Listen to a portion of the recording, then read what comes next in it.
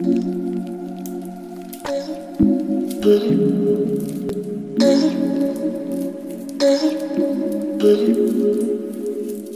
it true that we are just a drop in the ocean? That they'll never care about us?